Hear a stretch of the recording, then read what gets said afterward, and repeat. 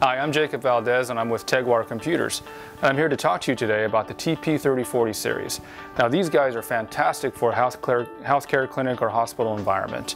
Uh, what we have here, we actually have a 15 inch size and a 22 inch size. Also available are a 10 inch and 19 inch. The front here is fully flushed as you can see from the side here.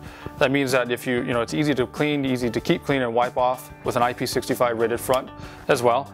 And if you take a look as I turn to the side here, now this is an all-in-one computer, so there's internal, there's a CPU and internal components, but it still maintains a really classic look, a really beautiful lines on this as well. And continue around, on the back side here, you can see that it maintains that sleek look, keeps it nice and clean, good profile, perfect for a hospital healthcare clinic environment. Uh, this thing is an all-in-one, so it has the processor inside.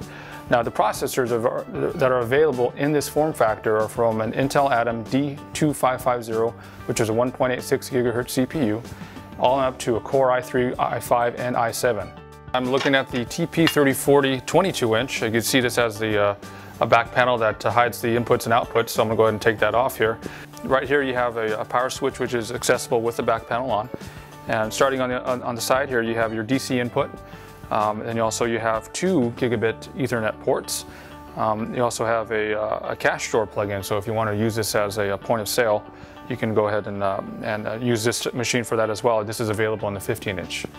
Um, we have the uh, 1, 2, 3, 4 COM ports, uh, RS-232, and then you have uh, four USB ports, so there's a lot of you know, different applications you can utilize because of the, the amount of USB ports on this.